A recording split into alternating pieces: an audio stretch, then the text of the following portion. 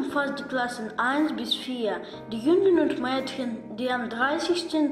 Juni sechs Jahre alt sind, gehen im Herbst in die Grundschule. Hier lernen sie lesen, schreiben, rechnen, Musik, Naturkunde, Turnen, Kunst, Religion, Handarbeit und eine Fremdsprache. Die Hauptschule.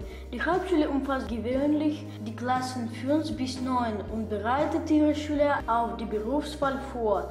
Nach dieser Schule können die Jugendlichen in einer Berufsschule lernen. Gute Schüler können aber auch noch die 10. Klasse besuchen und den Realschulabschluss machen. Die Realschule.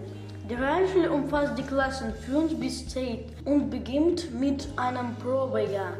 In die Realschule gehen vor allem die Schüler, die nach der 10. Klasse einen Beruf erlernen wollen, zum Beispiel im Handel oder in der Verwaltung. Neben dem Pflichtunterricht gibt es hier verschiedene Wahlpflichtkurse, die die Schüler selbst wählen.